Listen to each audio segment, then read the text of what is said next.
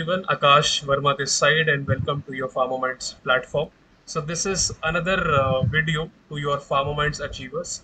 Today we have Amrit with us, जिन्होंने G PAT qualify किया NIPER में बहुत अच्छी रैंक लेकर आए और उनका सिलेक्शन नाइपर मोहाली में हुआ है तो आज वो अपने जर्नी के बारे में बताने वाले कुछ टिप्स आपसे शेयर करने वाले ताकि आप लोग जब अपनी प्रिपरेशन स्टार्ट करें तो आप उससे सीख पाएँ और उन स्ट्रैटेजीज को अपनी जर्नी के अंदर इनकलकेट कर पाएँ और यू नो अच्छी रैंक लेकर आप आ पाए।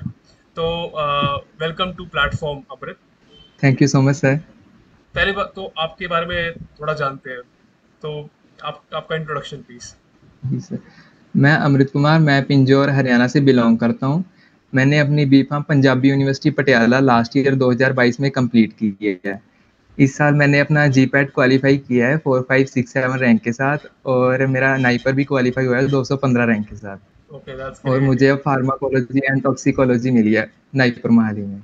वाओ यार कांग्रेचुलेशंस आई थिंक फार्माकोलॉजी बहुत बहुत अच्छों का रहता है कि यू नो हमें फार्माकोलॉजी चाहिए। और वो भी यू नो इंडिया के बेस्ट कॉलेज में मिलना बहुत बड़ी बात है तो जी सर कांग्रेचुलेशंस फॉर दैट तो थैंक यू सर तो आपके थोड़ा आपके बारे में जानते हैं आपकी जर्नी में वापस चलते हैं पास टाइम में। आपको जी पैट के बारे में कब पता लगा? और किससे पता लगा था? सर जी पैट के बारे में मुझे यूनिवर्सिटी में ही पता लग गया था थर्ड ईयर में मेरे जो सीनियर्स थे वहाँ पर हम्म, तो उन्होंने मुझे जी पैट के बारे में बताया तो उन्होंने मुझे गाइड किया था कि ऐसे ऐसे जी पैट होता है मास्टर्स के लिए होता है हम्म, और हमारे इंडिया के जो बेस्ट कॉलेजेस हैं नाइपर हो गया आईआईटी बीएचयू हो गया इसके बारे में बताया कि इसके लिए तैयारी करनी चाहिए और आगे इसके बेनिफिट्स बताए कि आगे क्या क्या हम अप्रोच कर सकते हैं अगर हम यहाँ से अपनी मास्टर्स कंप्लीट करते हैं तो। ओके। चलो बहुत ही बढ़िया। हाँ जी। तो हाँ जी। पैट की अब जर्नी पे आते हैं। आपने अब जी पैट अब तो हाँ जी। जी पैट नाइपर निकल गया। आ, उस समय तो होगा मन में डाउट कि निकलेगा कि निकलेगा कौन सा कॉलेज मिलेगा? तो थोड़ा डिटेल में अपनी जर्नी के बारे में बताओ। कहाँ से स्टार्ट किया? और क्या क्या चीज़ें करी आपने? मेजर सब्जेक्ट ज़्यादा पढ़े कि माइनर पढ़े? एमसीक्यूज कौन से लगाए? और एग्ज़ाम के दिन आपकी क्या मेंटालिटी थी? तो वो सारी चीज़ें। हाँ जी सर मैंने लास्ट ईयर भी जी पैट दिया था हम्म। दो हज़ार बाईस में उसमें सर मैं छः मार्क्स से रह गया था। ओके तो लास्ट ईयर मैंने ये सोचा था कि चलो अगर इस साल जी पैट होया क्योंकि लास्ट ईयर सर मेरा नाइपर की लेवल की प्रिपरेशन नहीं थी। ओके लास्ट ईयर मेरी ये स्ट्रेटेजी थी कि अगर मेरा जी पैट क्वालिफाई हो जाता तो मैं अपनी यूनिवर्सिटी में ही एडमिशन ले लूँगा। तो अच्छा ये, ये लास्ट ईयर ही क्लियर कर लिया था अगर इस बार नहीं क्लियर हुआ तो नेक्स्ट ईयर तो नाइपर ही जाना है। हम्म। तो सर लास्ट ईयर मेरा क्वालिफाई नहीं हुआ था तो ये था कि अब तो नाइपर गोल मैंने रख दिया था कि अब नाइपर ही जाना है और तो नहीं जाना अगर एक साल ड्रॉप करना है तो। हम्म। तो हाँ जी तो सर जब पास आउट हुए तो साथ के साथ सर अब ये है कि घर पे वेले भी नहीं बैठ सकते तो जॉब भी करना ज़रूरी था। तो सर, पहले मैंने साइड बाय साइड अपनी तैयारी स्टार्ट रखी और जॉब की तरफ़ भी फोकस किया कि कहीं जॉब मिल जाए ताकि एटलीस्ट कि कहीं ना कहीं पेरेंट्स को भी लगे कि हाँ मैं काम कर रहा हूँ। तो सर, मैंने अपोलो फार्मेसी ज्वाइन की और उसके साथ साथ सर, मैंने अपनी जी की प्रिपरेशन भी स्टार्ट की।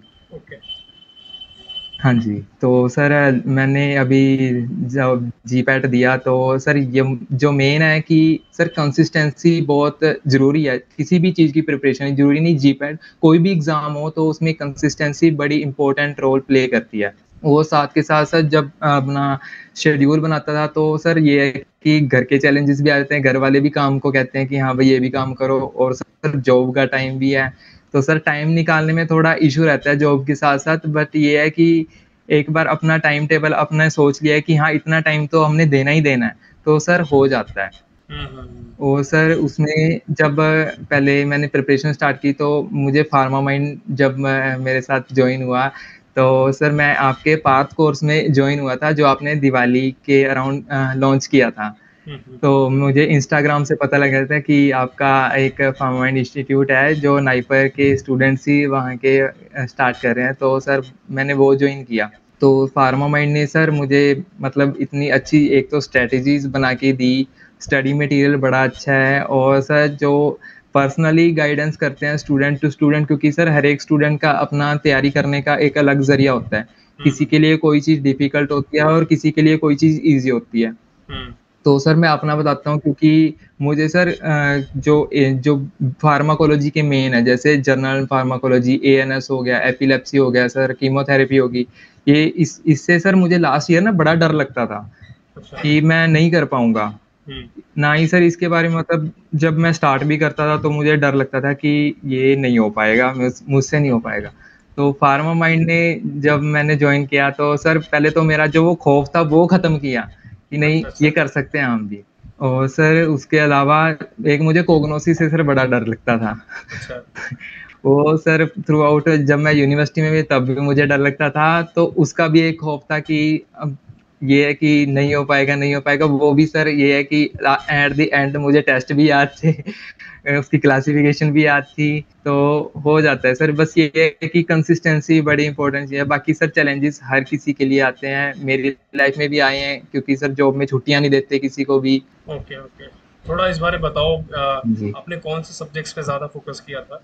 और एमसीक्यू प्रैक्टिस कैसे करते थे? आप हाँ जी हाँ जी। सर मेन तो जो हमारे जो कोर सब्जेक्ट है फार्माकोलॉजी फार्मास्यूटिक्स ऑर्गेनिक केमिस्ट्री में सर मैंने ज़्यादा फोकस किया था क्योंकि सर उसमें ये नेम रिएक्शन से डायरेक्ट क्वेश्चन आ जाते हैं। हम्म। और सर फार्माकोलॉजी की जो क्लासिफिकेशन है वो मतलब पूरी अच्छे तरीके से करी थी क्योंकि ये है कि सर उसका ये है कि मैकेनिज्म ऑफ़ एक्शन भी हमें याद हो जाता है उसके ज़रिए और एज वेल एज हमारे पूरे थ्रू आउट ड्रग्स के से भी हमारा रिव्यू हो जाता है कि ये ड्रग्स हैं ये नहीं है इसका क्या क्या रोल है। और सर उसके अलावा जूरिस्प्रूडेंस के जो सर रूल्स हैं शेड्यूल्स हैं वो सारे सर याद जो उसके लाइसेंस नंबर हैं वो सारे अच्छे तरीके से किए थे और। सर हाँ जी और स्यूटिक्स में सर टैबलेट कैप्सूल हमारे जो एरोसोल्स हो गए पेरेंट्रल्स हो गए सर ये जो मेन टॉपिक रहते हैं हम्म। ये सर पहले किए उसके साथ साथ जो सर माइनर सब्जेक्ट थे उसमें सर मैंने ज़्यादा बायोकेमिस्ट्री पे फोकस किया क्योंकि ये है कि बायोकेमिस्ट्री का सर नाइपर में बड़ा रोल रहता है बायोकेमिस्ट्री का तो मैंने हाँ जी तो सर मैंने जो माइनर सब्जेक्ट में बायोकेमिस्ट्री पे थोड़ा ज़्यादा ज़ोर दिया था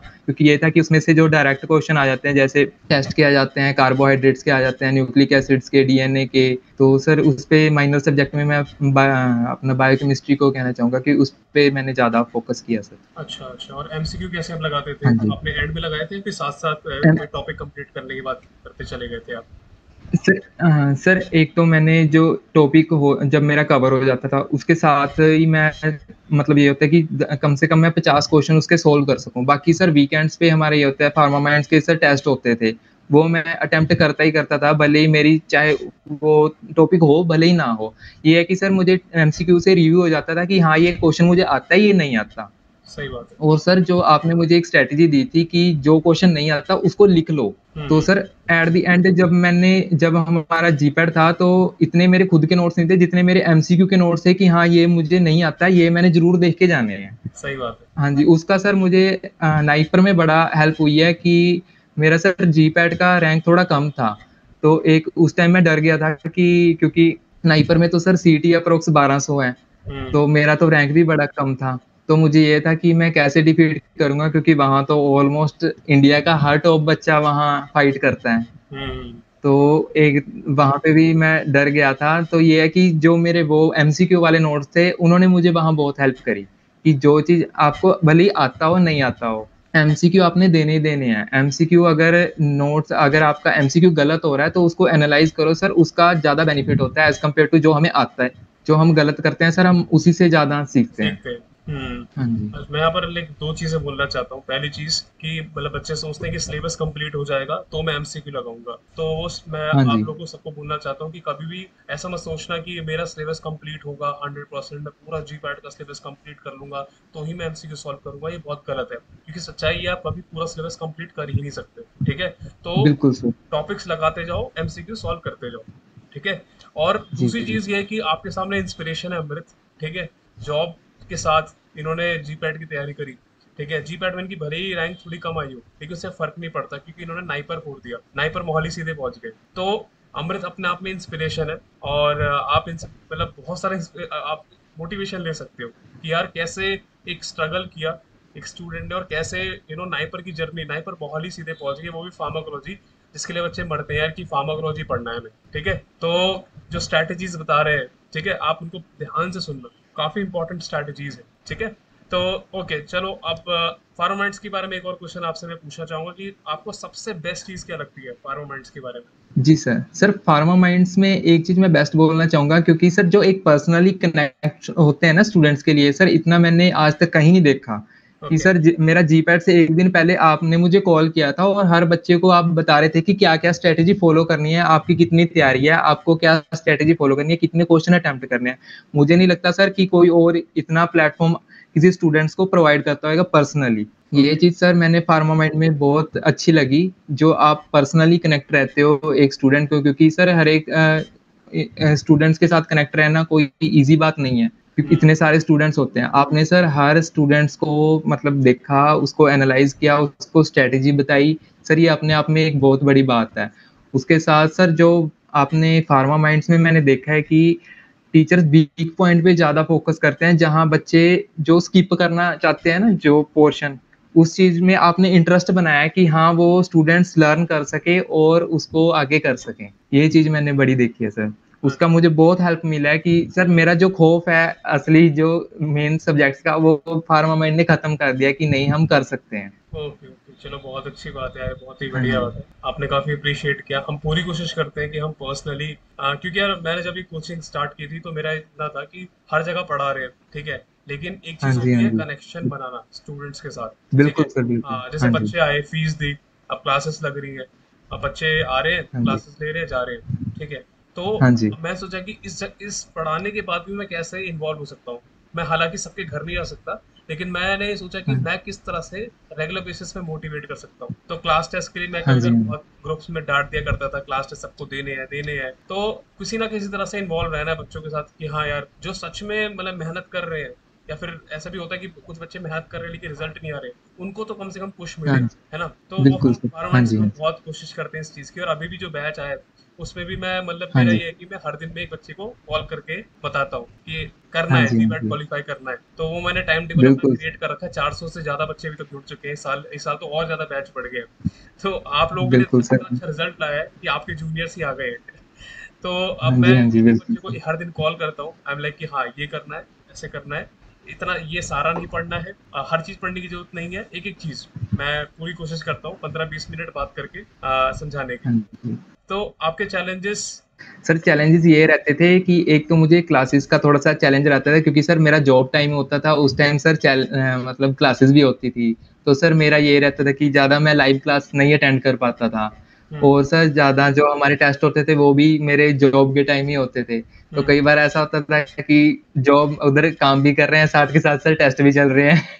पर ये है कि सर मेरे जो वहाँ के स्टाफ थे उन्होंने भी मेरी बहुत हेल्प करी है। उन्होंने मुझे कभी नहीं कहा कि हाँ आप कोई अपना काम से आ, मतलब अपनी पढ़ाई कर रहे हो। उन्होंने मुझे कभी नहीं कहा। मैं अपना काम खत्म करके अपना पीछे डेस्क पे बैठ जाता था और अपना टेस्ट फिनिश करके फटाफट। सर उसने मेरी स्पीड बढ़ाई है उस आ, काम ने कि हाँ भी जल्दी जल्दी टेस्ट देना है। उसकी वजह में सर मुझे ये लगा कि उसका प्लस पॉइंट मुझे नाइपर में क्योंकि नाइपर में सर स्पीड की और एक्यूरेसी की सर बड़ी अहमियत रहती है नाइपर में। सर, उस चीज़ का मुझे वहाँ पे बेनिफिट मिला कि जो मेरी स्पीड पहले ही बन गई थी कि हाँ ये स्पीड बन गई है। बस ये है कि सर मेन चीज़ एक्यूरेसी पे फोकस करना था। जो मुझे वहाँ पे थोड़ा सा लगा कि जो एमसीक्यू गलत होते रहते थे, वो साइड बाय साइड में नेक्स्ट डे आके उसको लिख लेता था कि हाँ ये गलत है। और सर, उसके अलावा जो मेन चैलेंजेस रहते हैं, एक डर रहता है कि भाई रिज़ल्ट वाले दिन क्या होगा? हम्म।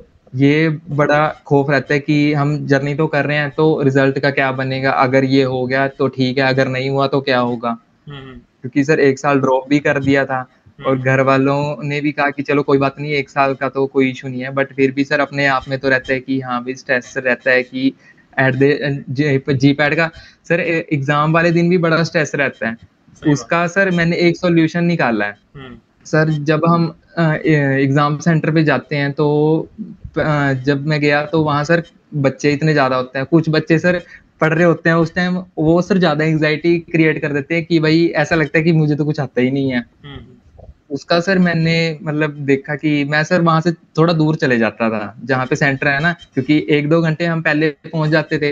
जब वहाँ बच्चे इकट्ठे होते थे तो काफ़ी स्टूडेंट रश पड़ता है कुछ बच्चे बच्चे पढ़ते होते हैं हमें वैसे ही एंग्जाइटी होने लग जाती है कि भाई हम भी पढ़ लेते हैं हम्म। तो सर उस टाइम पे आपको थोड़ा ये है कि माइंड रिलैक्स होना चाहिए एग्ज़ाम से पहले खासकर हम्म। क्योंकि सर ये है हमारी जो एक साल हमने पढ़ा है वो हम्म। सर हमने वो दो तीन घंटे में हमने पूरा करना है सही बात तो एग्ज़ाम से पहले हमारा माइंड फ्रेश होना सर बड़ा ज़रूरी है ये ये सेम स्ट्रैटेजी मैं सर क्या करता था कि वहाँ से थोड़ा जहाँ पर सेंटर है, वहाँ से थोड़ा दूरी मतलब चला जाता, सौ, दो सौ मीटर आराम से जाके बैठ जाता। वहाँ सर मैं एक बार गाना सुन के आराम से माइंड फ्रेश होके फिर मैं एग्ज़ाम देने जाता था। मेरा भाई भी कई बार मैं अपने भाई को ही साथ लेकर जाता था। वो भी मुझ पर आता था कि बाकी स्टूडेंट्स तो ये है कि किताबें पढ़ के जा रहे हैं, कि तुम कि गाने सुन के जा रहे हो। तो ये है कि सर माइंड फ्रेश करना अपने आप में ये है कि एग्ज़ाम से पहले माइंड फ्रेश बड़ा ज़रूरी है। क्योंकि ये होता है कि स्ट्रेस के अंदर सर कई बार ये होता है कि जो आते हुए क्वेश्चन वो भी गलत हो जाते हैं। सही बात।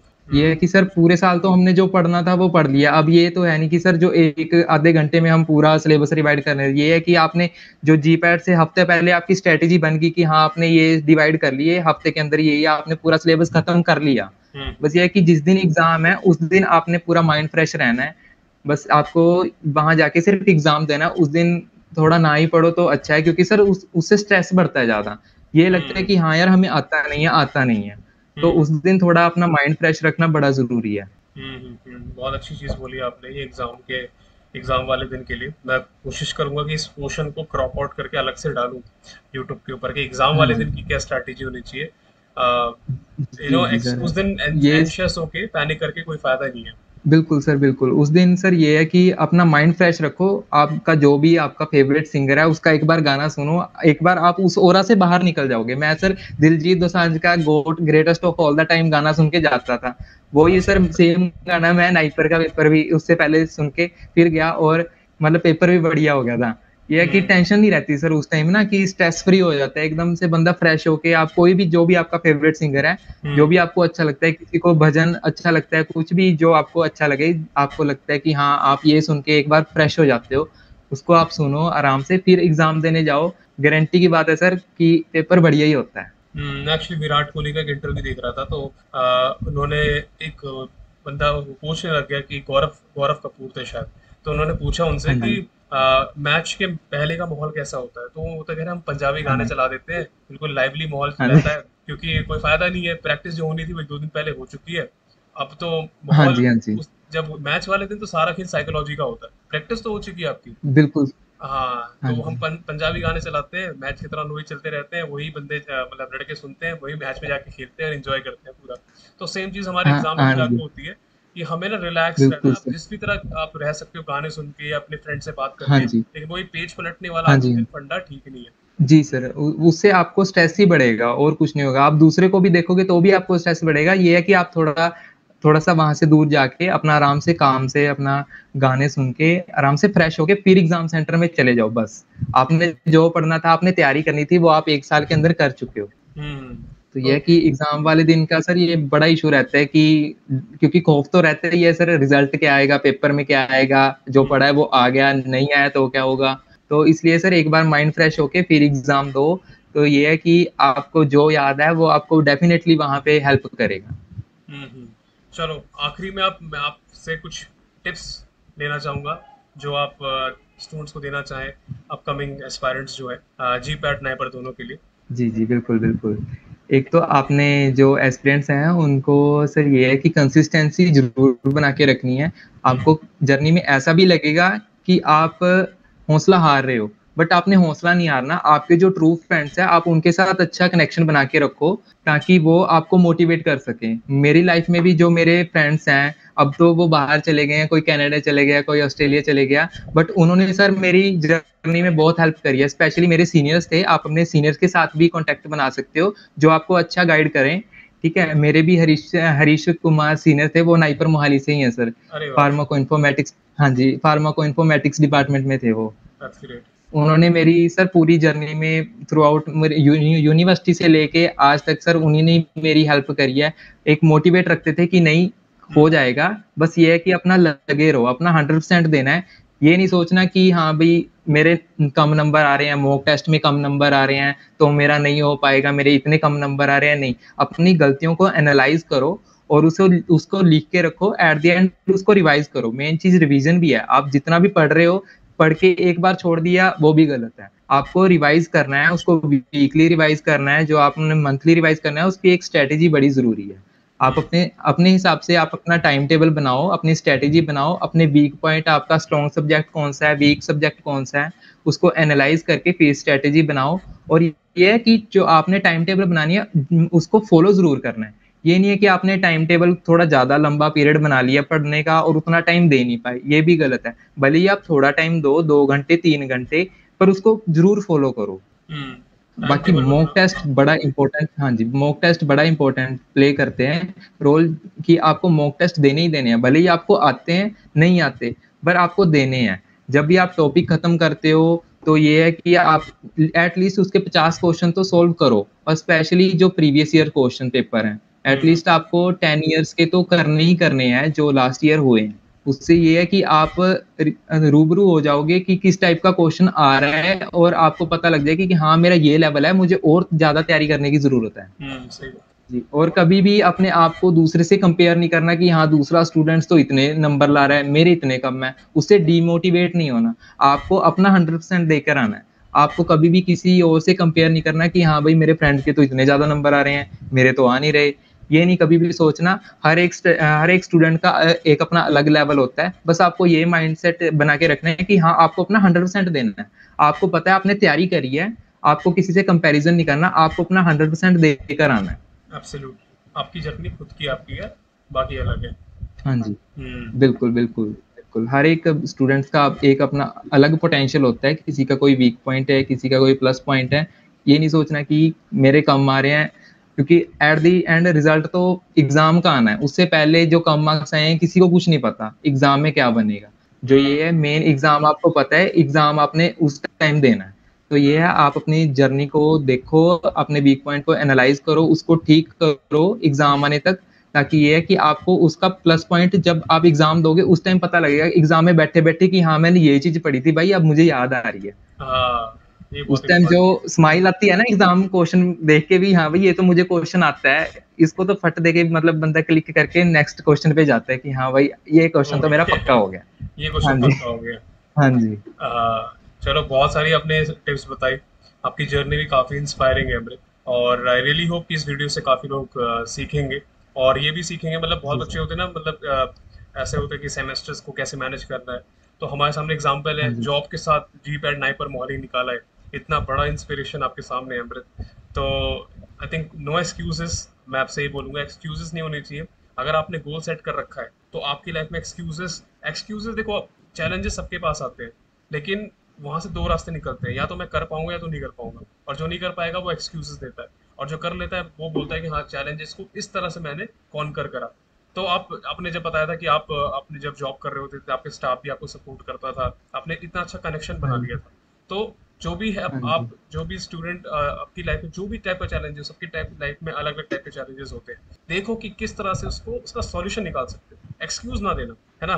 क्योंकि जो पर्पस है गोल है वो आपका एक्सक्यूज नहीं देखेगा। वो ये देखेगा कि भाई तू पहुँच रहा है कि नहीं पहुँच रहा है इस गोल तक? तो thank you so much Amrit. I think इतना सारा गाइड करने के लिए और सारी स्ट्रैटेजी अच्छे से बताने के लिए। And I really want to wish you all the best for your upcoming career और जितने भी चीज़ें आप चाहो आपको thank you so much sir और फार्मा माइंड्स और आकाश वर्मा हमेशा आपके साथ। जी सर मैं भी फार्मामेंट्स के लिए दुआ करूँगा। अब जस्ट सर जैसे अभी ग्रो कर रहा है सर मुझे यकीन है कि आने वाले सर सालों में फार्मा माइंड सर एकदम बड़ा प्लेटफॉर्म बन के सर सभी के सामने आएगा। और हम भी सर प्राउड फील करेंगे कि हाँ we are Pharma Mind students ज़रूर यार आपको बुलाएँगे ज़रूर उस दिन। जी जी सर बिल्कुल बिल्कुल। Best wishes to Pharma Minds thank you so much